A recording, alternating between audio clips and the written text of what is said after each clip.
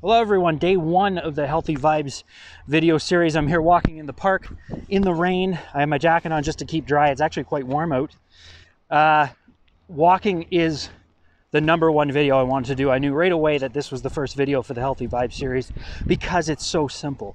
And it's something that's overlooked, uh, overrated. It's it, maybe it's because you don't necessarily feel the benefits when you get home. You don't feel like you just did a sprint workout or or something like that, but the benefits are massive for long term health, for longevity, for uh, mental and physical health. It's so good. Dr. Greg Wells put out one of, one of my most influential quotes, I think, to me, which is 15 minutes a day of walking reduces your cancer risk by 15 to, sorry, by 25 to 50%. That's insane. 15 minutes a day. That's nothing, people. We can do two minutes at a time. We could do five minute chunks, maybe a five minute and a 10 minute. It doesn't matter if we get 15 minutes or more a day, that's all we need.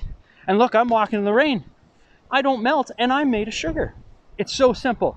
We need to get outside for additional benefits, but if you can't get outside for whatever reason, hop on the treadmill or something, go to an indoor track at our local wellness facilities, get out, do some walking, try and make it a regular thing. Start with something simple. Start with walking around the block every single day, just once and see how that goes. Build up slowly over time.